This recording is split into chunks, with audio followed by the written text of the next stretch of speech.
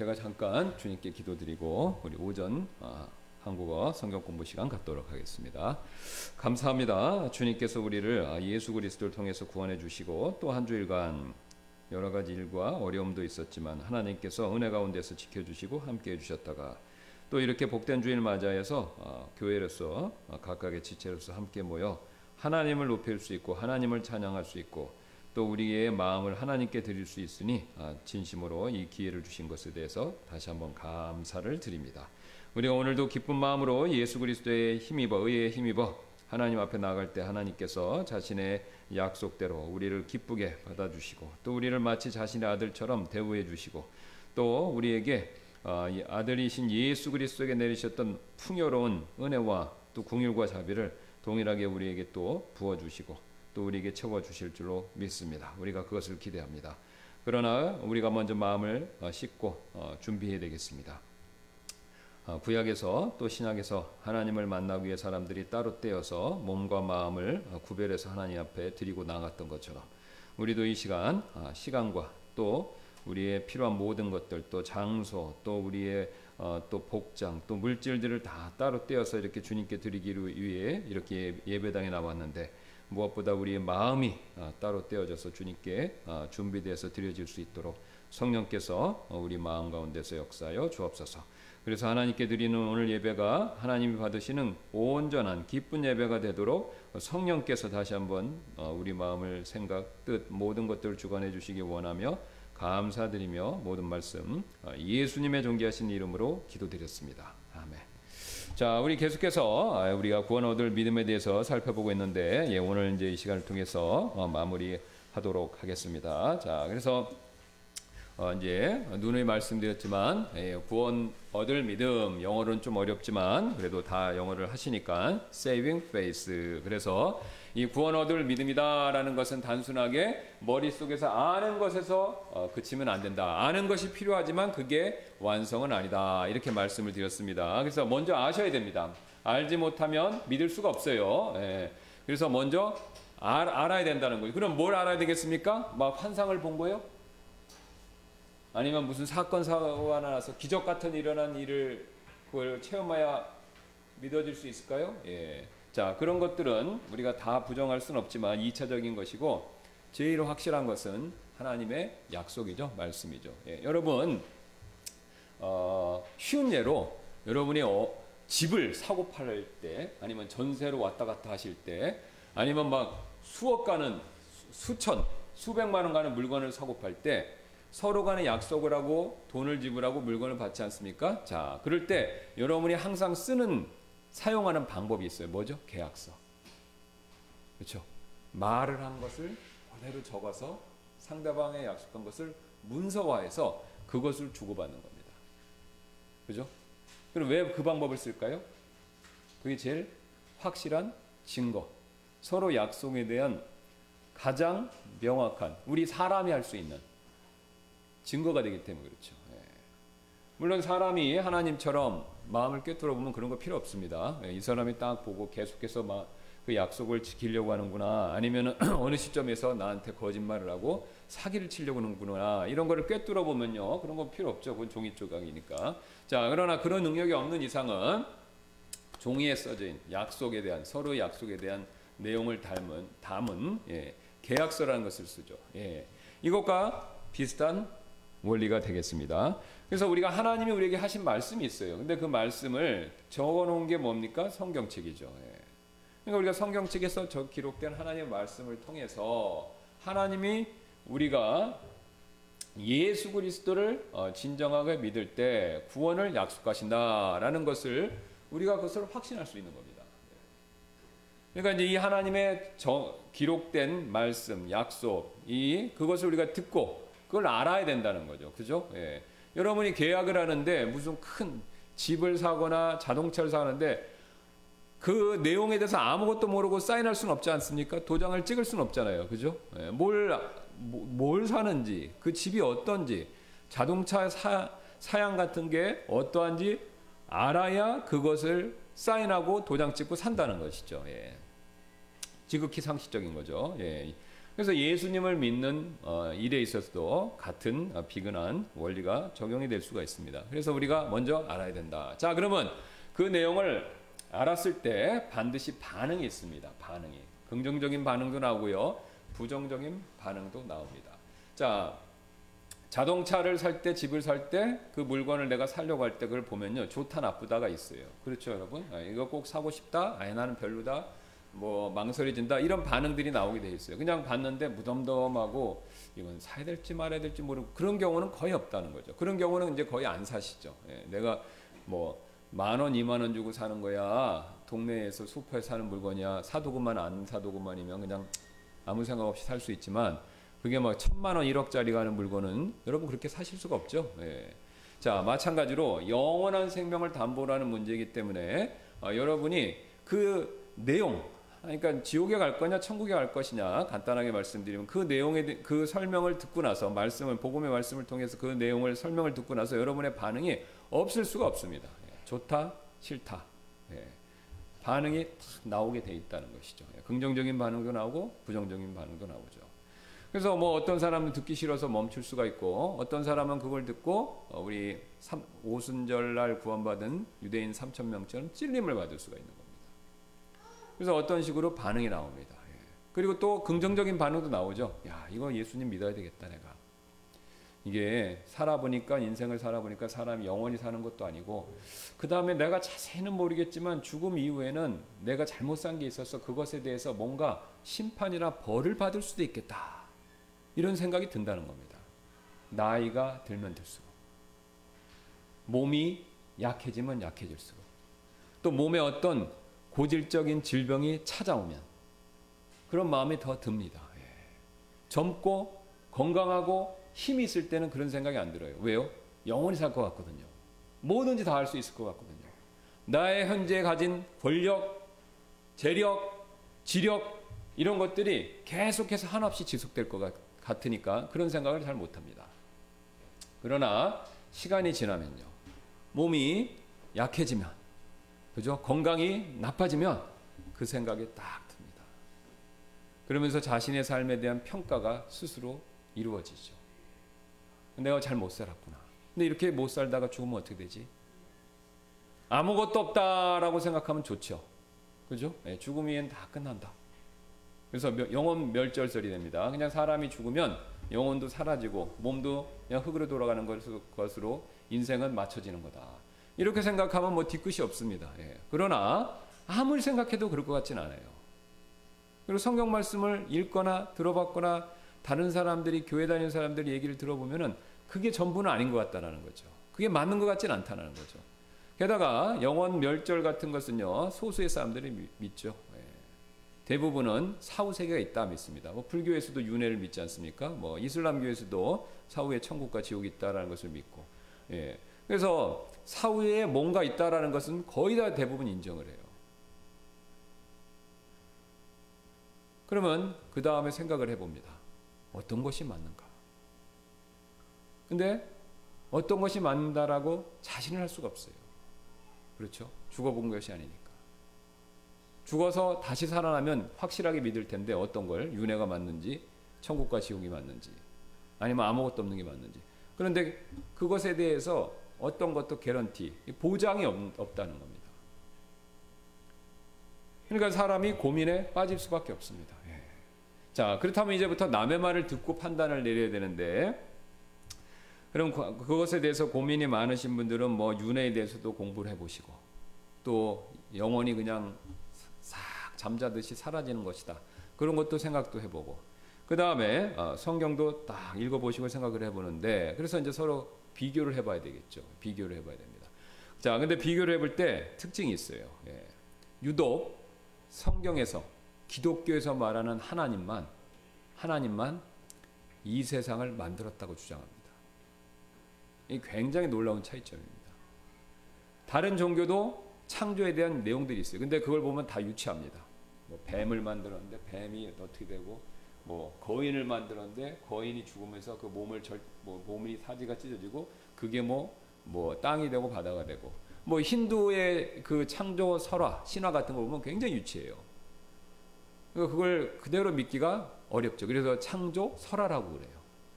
네. 왜냐면 아무리 봐도 합리적으로 어, 이해가 안 되는 부분이 많기 때문에. 근데 성경을 보시면 굉장히 굉장히 이 세상을 만든 것에 대한 명확한 설명들이 있습니다. 일관되게. 그것도 최소한 모세가 2000년 2000년 전에 썼다. 그러니까 4000년 정도 예, 저 되게 2000년 정도죠.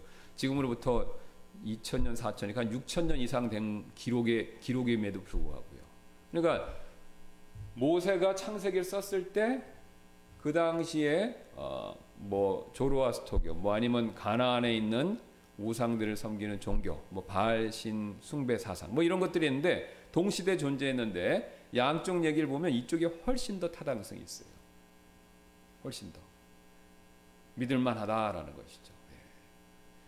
그래서 이 하나님은 유독 굉장히 분명하게 이 세상을 만들었다 이렇게 얘기하신다는 거죠. 자, 그러면 여러분 이게 창조가 왜 중요하냐면요. 제가 여러 번 강조해서 말씀드렸듯이 누군가 뭔가를 만들었으면요. 그 사람은요. 자기가 만든 물건에 대한 심판, 판단권을 갖습니다. 그렇죠? 예. 내가 음식을 만들었어요. 집에서 아주 쉬운 예로. 근데 맛이 없는 것 같아. 가족들을 위해서 잔치를 하려고 그러는데. 그럼 너무 맛이 없는 것 같아. 너무 짜거나 너무 너무 이제 짠 게 문제죠. 너무 매워. 도저히 못 먹어요. 자, 그러면 내가 그걸 버릴 수 있습니다. 만든 사람이. 그렇죠? 주변에서 아, 엄마 그거 왜 버려? 그래도 아니야. 이거는 우리 손님을 위해서 내놓을 수가 없어. 우리가 우리 엄마가 또 우리 가정에 체면에 안 쓰는 거야. 버릴 수 있는 거예요. 자식이 아무리 옆에서 말려도 내가 요리한 요리, 요리 내가 요리했기 때문에 내 마음대로 할 수 있는 거죠. 그러니까 누군가 만든 사람이 그 만든 물건에 대한 처분권을 갖습니다. 그게 물건이든 아니면 어떤 지적인 것이든. 그래서 여러분 카피라이트라고 아시잖아요. 무슨 아이디어를 만들어내도 그죠? 예, 그거 자체도 어떻습니까? 지적 재산으로 보호를 받잖아요. 그래서 만든 사람은 심판할, 처분할 권한을 갖습니다. 똑같은 원리가 하나님께도 적용되는 거죠. 하나님이 만드셨기 때문에 하나님이 심판하시는 거예요. 그러면 다른 종교의 신은 만들었는데 만든 게 불확실해요. 그러면 심판 처분권이 약합니다. 그죠? 제가 어떤 노래를 뭐 어떤 걸 만들었어요. 물건을 만들는지 뭘 만들었습니다. 예, 지적 재산에 대한 걸 만들었어요. 근데 제가 만들었는지가 불, 불확실한 거예요. 예, 불확실한 거예요. 명확하지 않는 겁니다. 그러면 제가 제 권리를 제대로 행사할 수가 없죠. 법정 다툼이 없고 판결을 내리지만 여전히 시비가 남는 겁니다. 예. 그래서 다른 종교에서는요, 그 이 세상을 만들었다라는 것에 대해서 명확하게 말을 못 해주기 때문에 심판자로서 뭐 바알이든지 아니면은 뭐 힌두의 어떤 신이라든지 심판자로서의 명백한 권한을 가질 수가 없습니다. 오직 하나님만 성경을 보시면 여러 곳에서 분명하게 확실히 자신이 창조주이다라는 것을 선언하고 있죠. 게다가 그게 거짓말일 가능성은 없습니다. 영이죠. 왜요? 신이니까. 그잖아요. 신인데 하나님이 최소한 신인데 거짓말했어요. 안 만들고 만들었다. 그러면 거짓말이잖아요. 그러면은 그건 벌써 종교로서 성립이 안 되는 겁니다. 예. 불투명할 수는 있지만 거짓말이 될 수는 없어요. 그죠? 예. 그러니까 다른 종교의 신은 불투명하면서 확실치 못하게 하는 거죠. 자, 그래서 하나님은 어, 이런 면에서 절대적인 권한을 가지시고 어, 그 다음에 그 절대적인 권한에 의해서 우리의 삶을 판단하실 예, 그 다음에 그런 심판권을 저절로 갖게 된다라는 것이죠. 제가 지금까지 말씀드린 건 다 상식에 근거한 겁니다. 근데 이 상식이 어디서 나왔습니까? 우리가 협의해서 만들어낸 건가요? 아니면 제가 지어낸 건가요? 아니죠. 이게 삶의 원리입니다. 그럼 이 삶의 원리를 누가 만드신 건가요? 하나님 만드신 거예요. 왜냐하면 하나님이 창조주이시기 때문에. 그 얘기는 뭐냐면 하나님이 이런 원리로 이 세상을 주관하시고 이런 원리로 우리가 만들어졌기 때문에 우리가 이런 원리에 따라 산다는 겁니다. 물론 이걸 거부할 수 있는 권한이 우리가 있지만 그 거부 권한이 영원히 가는 건 아니라는 거죠. 또 이걸 거부했을 때 그것에 대한 책임도 우리가 이 땅에서 살면서 물게 돼 있고요. 자, 그래서 하나님이 명백하게 심판의 권위를 가지시기 때문에 우리가 결국은 하나님의 심판 앞에 서는 것을 피할 수가 없습니다. 여러분이 직장에서 어떤 직무와 임무를 맡아서 하시면요. 그것에 대한 평가를 받습니다. 가정에서 심지어는 가정주부다라고 하더라도 그것에 대한 평가를 다른 가족들한테 받아요. 학교에서 공부한 학생이면 말할 것도 없고요. 마찬가지로 하나님께서도 우리의 삶에 대한 평가 그걸 내리신다는 거죠. 언제요? 죽음 이후에 뚜렷하게. 이걸 피할 수가 없습니다. 그러면 이제 우리가 이걸 대비해서 어떤 삶을 살아야 될 건가? 이거를 시간이 지나면, 나이가 들면, 몸의 건강이 나빠지면 생각해 볼 수밖에 없습니다. 이런 생각을 왜 할까요?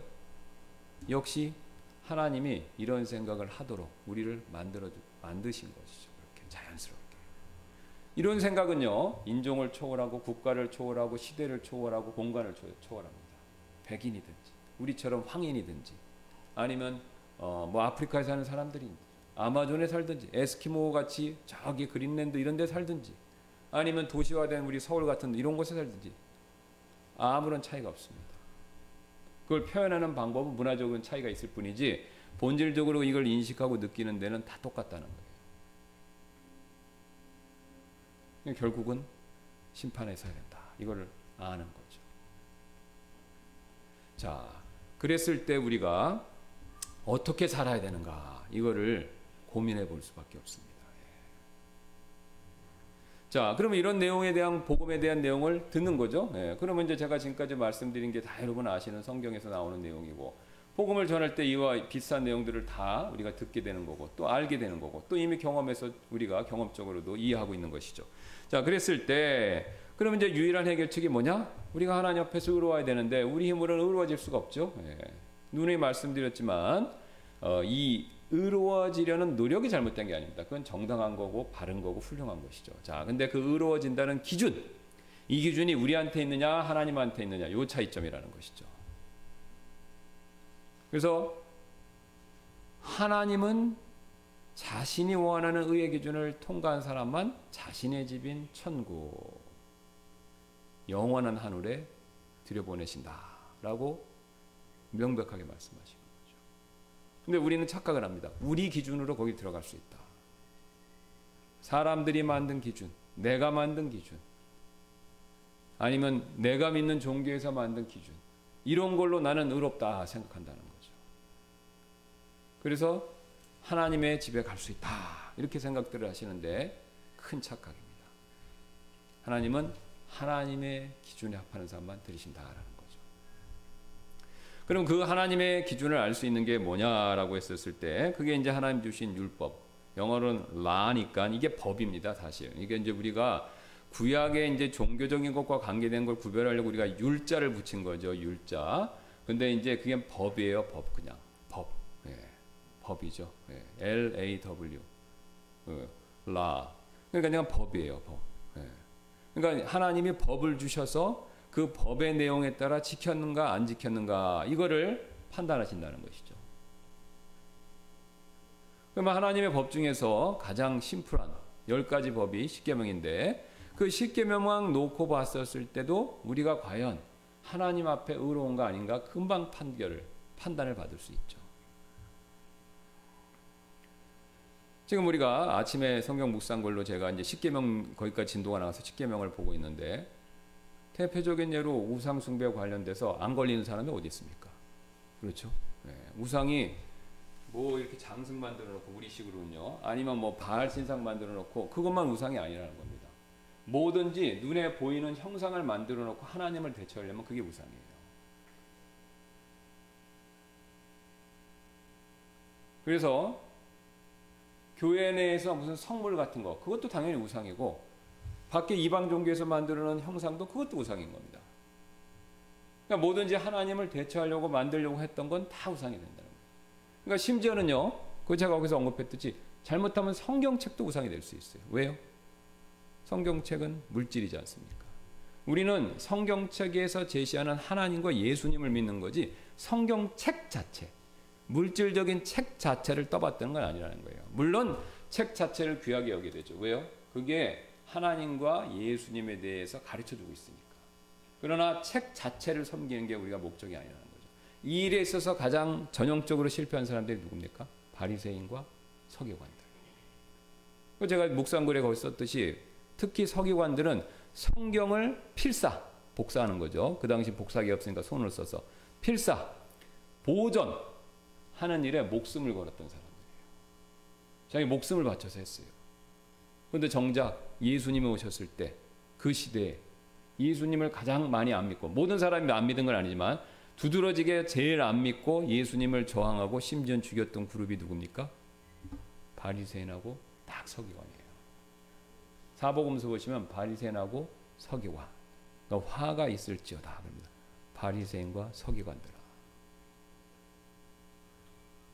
그러니까 우리가 성경책조차도 조심해야 됩니다. 예. 성경책을 갖고 있다고 안심하시면 안 돼요. 바리새인들은 성경책을 갖고 있고 눈앞에 예수님이 있었는데도 그 성경책이 가르치는 예수님을 부정했습니다. 안 믿었다는 거죠. 물론 성경책 그러면 성경책 필요 없으니까 어, 성경책 없어도 돼 이런 뜻이 아니라는 거죠. 성경책은 소중히 여겨야 되지만 성경책에서 말한 예수님보다 성경책 자체를 더 소중히 하면 그게 우상으로 흐른다는 겁니다. 예. 마치 모세가 노뱀을 달아놨는데 그 노뱀이 가리키는 예수 그리스도보다 노뱀을 더 소중하게 여겨서 누스탄 그래서 노뱀을 분양하고 섬겼던 그런 실수랑 똑같은 걸 저지르는 겁니다. 여러분 이게 굉장히 미묘한 것 같은데 살짝 여러분이 오해를 하시면 그 결과는 큰 차이가 있습니다. 나도 모르게 이스라엘 백성들이 우상을 섬겼던 제2 계명을 어겼던 일에 우리도 빠져들 수가 있어요. 뭐 사람은 말할 것도 없고요. 그죠? 네. 그래서 이런 유명한 말이 있습니다. 어떤 목사님 했는데 아주 대단한 훌륭한 목사님이 예수 그리스도를 바라보십시오 하고 손가락을 딱 제시하면은 이제 하늘을 가리키면서 예와 이게 이제 그 어떤 제스처죠. 성도분들은 그 목사님 손가락을 본다는 거예요. 그 손가락이 가르친 예수님을 생각하는 게 아니라 그 목사님 손가락을 본다는 겁니다. 예. 그러니까 그만큼 우리는 눈에 보이는 게 집착을 거죠. 그러니까 이것만 해도 다 걸립니다. 예. 이것만 해도 천국 못 가요. 뒤, 그, 뒤쪽 가명, 개명으로 3, 4, 5, 6, 7, 8, 90으로 가기도 전에 1, 2에서 다 끝납니다, 사실. 말씀드렸죠? 율법은 체인과 같다고, 사슬과 같다고. 그래서 성경에 분명히 나와 있어요. 이 사슬은 아무리 튼튼하고 훌륭한 사슬이 있는데, 뭐 강철로 만들고 그러는데 그 사슬이 이렇게 고리가 있어요. 이렇게 사슬이 이렇게 길게 이렇게, 이렇게 고리를 이루고 있어요. 근데 그 사슬이 한 거라도 딱 부러지면 어떻게 됩니까? 끊어지면요. 그 사슬은 못 써요. 그렇죠? 네. 금목걸이 생각하시면 쉽죠? 금목걸이 있는데 여러분 거기 막 보석이랑 다이아몬드 막 치렁치렁 달렸어요. 근데 거기서 한 골이라도 딱 끊어지면 그것 여기에 낄 수 있습니까? 수리하기 전에 못 끼죠. 그러니까 율법을 지키는 것도 똑같습니다. 다 잘 지키고 다 내가 잘 따르는 것 같았더라도 하나만 어겨도 전체가 실패가 되어버리는 겁니다. 이게 하나님의 룰이에요. 예, 우리는 뭐 10개, 9개 잘했으면 한 개, 아예 그냥 봐두지. 이렇게 되는데 하나님은 10개 잘해도 한 개만 실패해도 전체 10개가 실패한 거다. 이렇게 간주하신다는 거죠. 그러면 이런 얘기를 자꾸 들으면요. 아유, 내가 죄인이구나. 이런 생각이 점점 들 수밖에 없습니다. 그리고 이제 이런 생각이 들면 반응은 두 가지입니다. 예, 아예 듣기 싫다. 이런 게 있고, 아, 맞아. 내가 맞는 말씀이네, 이게. 내가 죄인이구나. 하나님의 의의 기준으로 내가 하나님 앞에 설 수가 없구나. 이거를 느끼게 되는 겁니다. 점점. 자, 그리고 자기를 생각해 보는 거죠. 저게 진짜 사실이면 나는 어떻게 되는 거지? 이거 지옥 가는 건데. 이 경건함 두려움, 하나님이 주시는 회개, 이 마음이 드는 겁니다. 그리고 아, 안 되겠구나. 그럼 어떻게 하면 어떻게 하면 내가 이 하나님의 심판으로부터 벗어날 수 있을까? 그런 생각들을 하시는 거예요. 예. 그래서 그런 생각을 하시다가 아, 예수님을 믿으면 된다고 그러는데 그게 뭔지 좀 알아봐야 되겠다. 이런 생각들을 자연스럽게 가지시는 거죠. 자, 그러면 예수님은 우리를 위해서 뭐, 뭘 하셨습니까? 우리가 지켜야 되는 거 못 지키는 거 대신 다 벌 받아 주셨고 또 자신이 지키신 것을 내가 지킨 것처럼 여겨 주시는 거예요. 예. 그러니까 천국에 갈 때 여러분 하나님이 일종의 여권 같은 걸 요구하신다 이렇게 한번 가정해 보시면 쉬운데 거기에 예수님 여권이 있으면 예수님은 아무런 잘못이 없죠. 예, 우리가 이제 보통 국가에서 국가로 이동할 때 제가 자주 드리는 예화인데 어, 그 나라에 입국할 때 그 나라를 대항하는 범죄를 저지르면 입국 거절입니다. 예, 그러니까 옛날에 미국에 뭐 미국 문화 미 문화원이나 미국 대사관에 화염병을 던진 기록이 있다. 예, 그러면 이제 못 들어가는 거예요. 그렇죠? 예. 그다음에 반미 시위를 뭐 극렬하게 한 적이 있다. 그러면 미국이 안, 들, 안 들어보내주죠. 예, 왜냐하면 이건 이 사람은 미국을 적대하는 사람이다. 예. 그 다음에 미국에서 또 금지하는 법들이 있어요. 뭐 굉장히 마약, 예. 그 다음에 뭐 인신매매, 뭐 아주 그 극도로 심각한 죄들, 그죠? 예. 강력 범죄라고 그러죠. 그런 항목이 있습니다. 그런 리스트를 지은, 그러니까 그런 걸 전과가 있으면요, 그런 죄를 진 적이 있으면 역시 안 들어보내줍니다. 그러니까 우리가 미국에 갈 때도 그런 죄가 없어야 되듯이 천국에 갈 때도 그런 죄가 없어야 됩니다. 예. 하나도 없어야 돼. 근데 그 기준이 마약이나 이런 걸 하는 게 정도가 아니라 아까 말씀드린 것처럼 열 가지 계명에서 하나도 어긴 것이 없어야 돼요. 반대로 모든 요구 조건을 다 충족시켜서 행해야 된다는 거죠. 자, 그러니까 우리는 우리 여권을 내밀어서는 이쁘게 안 됩니다. 왜요? 그 밑에 쭉 나오니까. 여러분 공항에서 보셨죠? 그 미국 이민국 직원이 탁 옆에 총 차고, 그죠? 등치도 이래요. 그죠? 일부러 그런 사람 뽑는다고 합니다. 그래갖고 딱 앉아갖고, 그, 이렇게 굉장히 또, 뭐, 다는 아니지만, 굉장히 또이 불친절한 걸로 유명합니다. 예. 위압감을 주는 일부러 건다고 그래요. 왜냐하면 위압감을 줘서 그 사람이 저항을 못하게 하려고 심리적인 방법을 쓴다고 그럽니다. 예. 그래서 거기 앉아 있으면서 탁 뒤지잖아요. 이렇게 탁착 쳐갖고 리스트를 딱 봅니다. 예. 그것처럼 우리가 확인이 다 된다는 거죠. 그래서 우리는 들어갈 수 없어요. 자, 그러나 예수님의 경우에는 100% 통과죠. 예. 근데 그 예수님 여권의 사실, 내 여권 사진이 딱 들어간 것과 비슷하다. 이렇게 생각하시면 됩니다. 여권은 예수님 건데 내가 예수님을 믿으면 그 예수님 여권이 내 여권으로 역임받는 겁니다. 예. 내 여권으로 역임받는 거예요. 좀 다른 각도로 예화를 들면은 우리 어, 자식, 자식을 우리 길르신 부모님들은 명백하게 아시는데 또 자식을 좀 어느 정도 많이 길르신 분들은 이게 특히 어머니들은요 자식들이 좋아하면 그 자식들이 좋아하는 것도 좋아하게 돼 있어요. 그죠? 네, 너무 좋아하면. 아주 쉬운 예로, 이제 자식을 장가를 보내야 돼요. 특히 아들을 장가를 보낸다고 생각해 보세요. 근데 내가, 내 아들이 너무나도 이쁘고 좋습니다. 뭐, 8대 독자예요. 그래서 너무 귀한 겁니다. 예. 그래서 우리 아들은 하는 게 뭐든지 다 이쁜 겁니다. 뭐든지 다 좋아요. 그런데 이 아들이 장가 간다고 며느리를 데리고 왔어요. 며느리 될 사람을. 근데 내가 볼 때는 80점이야.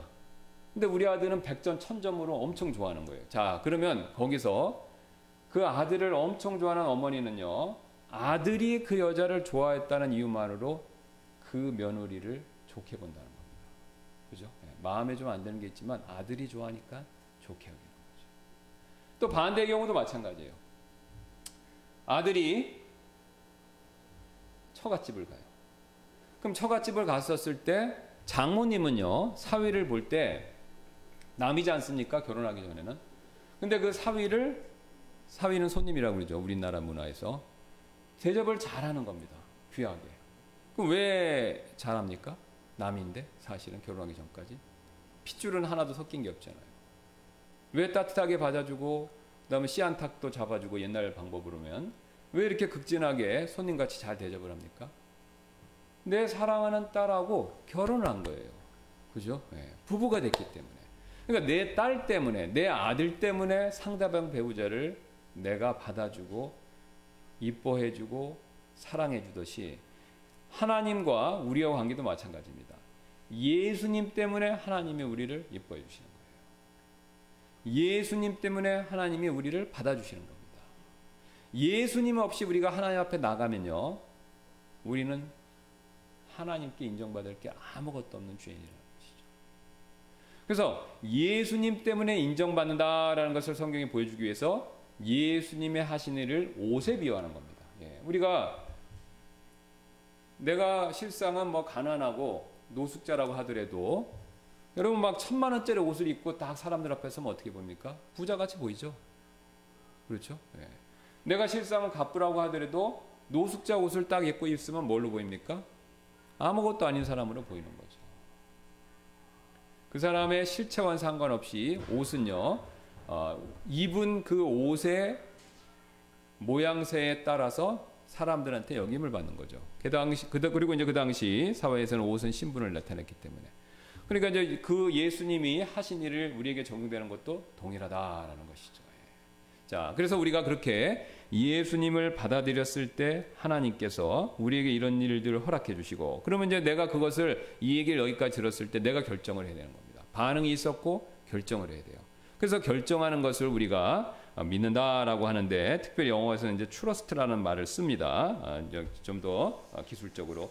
그래서 이제 그 대표적인 예로 오늘 나눠드린 요 용지를 봐주시기 바랍니다. 자 여기 보시면 그 요한복음 3장 16절이 우리가 잘 아는 말씀입니다. 하나님께서 세상을 이처럼 사랑하사 자신의 독생자를 주셨으니 이것은 누구든지 그를 믿는 자는 멸망하지 않고 영존하는 생명을 얻게 하려 하심이라. 여기서 보시면 우리나라 말로는 그냥 누구든지 그를 믿는 자 이렇게 돼 있는데 영어로 보시면 빨간 것만 보시면 됩니다. believes in him이에요. 그죠? 예, 거기 이제 뭐 th는 빼고 현대 영어로 하면 believes in 힘이, 힘이 되는데 여기 중요한 건 뭐냐면 in이 들어갔다는 겁니다. in이. 어, 이게 이제 짧은 영어 공부 시간이 될 텐데 이 우리나라 말로는 believe in 힘이나 believe 힘이나 큰 차이가 없, 없습니다. 번역할 때는.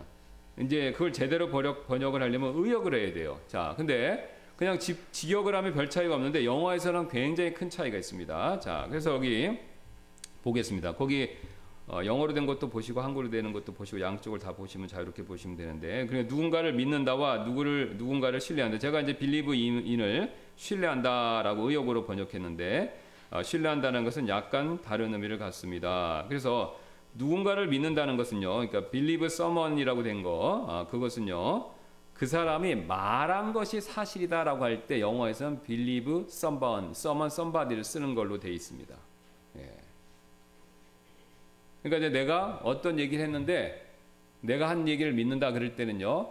believe somebody 이렇게 되는 거죠. 그래서 여기 예만 보시면 됩니다. 거기 얘기 나와 있는 것처럼 예를 들어서 나는 나는 돈을 훔치지 않았다고 말하는 존을 믿습니다라고 할 때 그때 그 사람의 말을 믿는 거기 때문에 이때는 believe in이 아니라 believe believe만 씁니다.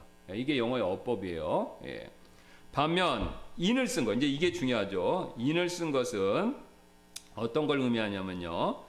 누군가를 신뢰한다는 거니까 believe in someone을 제가 의역으로 번역한 겁니다. 누군가를 신뢰한다고 했어요. believe in을 어떤 사람의 능력, 성격 또는 성공 가능성에 대한 믿음이나 신뢰를 어, 갖는 것을 어, 의미합니다. 이것은 어떤 사람의 전반적인 능력이나 잠재력에 대한 확신을 가리킵니다. 그래서 예를 들어서 이제 여기 빌리브 인을 쓸 때는요. 나는 사라가 목표를 달성할 능력이 있다. 그러니까 사라의 능력 인을 쓸 때는요. 거기에 그 사람의 구체적인 어떤 특징, 능력, 그 다음에 그 사람에 대한 전반적인 신뢰, 신뢰성 이런 것을 쓸 때 인을 쓴다라는 것이죠. 그래서 제가 이걸 아침에 분명히 물어봤어요 우트만 목사님한테. 그러니까 똑같이 얘기를 해요. 예. 물론 이건 영어 자료니까 제가 이제 책에서 본 거고 직접 제가 여쭤봤어요 아침에. 똑같이 말했어요. 빌리브를 쓰면은 보통 그 사람 말한 것을 한다. 빌리브 인을 쓰면은 그 사람의 전체, 그러니까 그 사람의 특징, 생각, 뭐, 그러니까 그 사람에 대한 전체적인 거, 그 사람의 내면적인 것까지 신뢰한다. 이렇게 분명히 얘기를 했습니다. 예. 자, 그래서 그러면 성경에서 지금 뭘 써 있어요? believe in him. 그러니까 예수님을 빌리브만 하는 게 아니라 그러니까 만약에 여기에 빌리브 힘 됐으면 예수님의 하신 말만 믿는다는 거예요. 근데 빌리브 인 힘을 했기 때문에 예수님이 지금 구원해 주시고 하나님이 우리를 구원해 주실 수 있는 능력, 그분의 신실함, 아, 그분의 확실함, 그 다음에 그분이 우리에게 보여준 사랑, 이런 거 전체를 왕창 확실하게 믿는다 이런 뜻이 있습니다. 그러니까 훨씬 더 깊은 거죠. 그럼 왜 영어는 believe in을 썼냐? 그리스어가 이렇게 돼 있습니다. πίστις εἰς. εἰς가 into거든요. 정확하게 그러니까 영어로 영어로 어, 영어를 그러니까 헬라어를 영어로 직역을 하면요. believe into가 돼요. 근데 believe into란 말은 영어에 없습니다. 네. 제가 이제 신학교에서 그 선생님한테 그 그리스어 수업을 받을 때 그걸 그렇게 설명을 해줬어요. believe into란 말은 없대요 영어에. 그러니까 believe into가 없으니까 believe in으로 번역한다고 합니다. 그럼 왜 believe in이란 말을 썼냐? 성경에 그렇게 써 있는 거예요. 근데 한 가지 흥미로운 사실은 believe into, believe 이제 헬라어로 하면 believe into인데 그 당시에 헬라어를 쓰는 사람들은 believe into란 말을 잘 안 썼습니다. 유독 성경에서 굉장히 많이 쓴 표현이라는 거예요. 예. 그러니까 성경하고 그 당시에 있는 문헌들을 딱 지금 조사 나온 걸 비교해서 보면 believe into란 말을 잘 안 썼다는 겁니다. 그건 굉장히 드문 케이스고 성경에서만 believe into란 말을 굉장히 많이 썼다라는 거죠. 그 얘기는 뭐냐면 하나님이 하신 말, 하나님의 존재, 하나님의 인성, 능력 이런 것들을 절대적으로 신뢰할 것을 오직 성경만 강조한다라는 것이죠. 예. 자, 이런 얘기는 뭐 여러분이 이제 꼭 뭐 아실 필요는 없어도 되는 내용인데 참고하시면 되겠고 어쨌든 중요한 건 뭐냐? 그럼 이것만큼은 여러분이 꼭 기억하셔야 됩니다. 예수님을 믿는다는 것은요. 성경책에 그분이 하신 말만 믿는 게 아니라 그분이 그 말을 지킬 수 있는 능력, 그 다음에 그, 능, 그 자신의 말을 끝까지 책임져 주신다는 그분의 신실함, 그 다음에 그분이 다시 오셔서 그 모든 것을 성취하시겠다는 미래적인 성격의 내용들. 하여튼 그분이 우리를 위해서 하신 모든 것들을 나는 신뢰합니다. 라는 게 바로 참된 믿음이라는 거죠. 그러니까 제가 지금까지 설명드린 거랑 똑같은 거를 이 요한복음 3장 16절에서 빌리브 인이라는 단어를 통해서 보여주고 있는 겁니다. 그러니까 여러분이 머릿속으로 아 나 예수님 성경에 있는 말씀 믿어 여기서 정도면 충분하지 않은 겁니다. 완전히 전적으로 신뢰해야 돼요. 온 마음을 다해서. 그러니까 그거 상태가 안 되면 여전히 여러분은 머릿속에서만 알고 계십니다. 그러니까 완전히 난 진짜 믿습니다. 예, 물론 뭐 진짜란 말을 넣냐 안 넣냐 이런 이런 뉘앙스가 아니라 예, 그 다음에 뭐 눈물을 흘렸냐 안냐 그게 아니라 온 마음을 다해서 그분의 전체적인 걸 신뢰한다 이겁니다. 인격, 신격 다 신뢰하는 거예요. 이게 바로 어, 성경에서 말하는 참된 믿음이다. 그러니까 여러분이 그 믿음을 가지고 계신 분들은 이거를 정리하시면 됩니다. 그 다음에 혹시 그 믿음이 없으시다면 여러분이 한번 고민을 해보셔야 돼요. 예수님 얘기는 많이 들었는데 머릿속으로는 알아요. 지옥 안 가게 해준다. 뭐 그 정도는 다 이해할 수 있죠. 예수 천국 불신족 이런 얘기 많이 들어봤으니까. 근데 그 정도로는 충분하지 않을 수가 있다라는 거죠. 그 정도 알아서가 아니라 당장 그분을 정말로 정말로 꽉 온전하게 신뢰하는 거예요.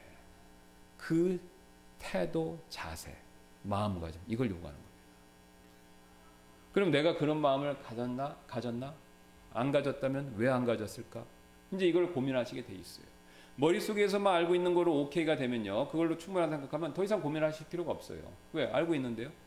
물어보면 다 대답도 하는데요. 그러나 내가 정말 온 마음을 다해서 정말로 그, 정말로 그분의 모든 걸 신뢰하는가? 이건 또 별개의 문제죠. 그러니까 내가 그렇게 못하면 왜 못하는가? 그거 고민해 보셔야 된다. 그래서 요 점을 인식하는 게 중요하고 그 다음에 이제 왜 온 마음을 내서 못하는지는 우리가 다음 시간에 이제 회심 회개와 관련돼서 더 살펴보도록 하겠습니다. 기도하고 마치겠습니다. 감사합니다. 하나님께서 오늘도 우리가 참된 믿음에 대해서 어, 성경을 어, 좀더 자세히 살펴볼 수 있는 기회를 가졌는데 오늘 살펴본 내용이 어떤 분들에게는 쉽지 않고 또 어떤 분들에게는 좀 어려울 수도 있을 수도 있습니다. 그러나 한 가지 중요한 것은 내가 과연 정말로 성경에 말하는 그런 참된 믿음을 가지고 있는가? 이것에 대해서만큼은 꼭 자기 자신을 살피고 점검하고 또 내 자신에게 적용할 수 있는 어, 그런 마음을 하나님께서 꼭 허락해 주시기를 원합니다. 이 구원의 문제, 이와 관련된 믿음의 문제는 굉장히 중요합니다. 왜냐하면 사람은 한 번 죽는 것은 사람에게 정하신 것이고 그 뒤에 심판이 있기 때문에 우리가 영원한 삶을 어디서 보낼 건가를 결정하는 굉장히 굉장히 굉장히 중요한 선택의 기로의 문제입니다. 우리가 이 사실을 명심하고 자기 자신에 대해서 잘 살피고 또 이미 믿었다면 다른 분들한테 이 내용을 이렇게 잘 조리 있게 또 성경에 맞춰서 합당하게 잘 설명하고 전하는 저희가 되도록 주님께서 또 저희들을 사용해 주시길 원하며 감사드리며 모든 말씀 예수님의 존귀하신 이름으로 기도드렸습니다. 아멘. 네, 마쳤습니다.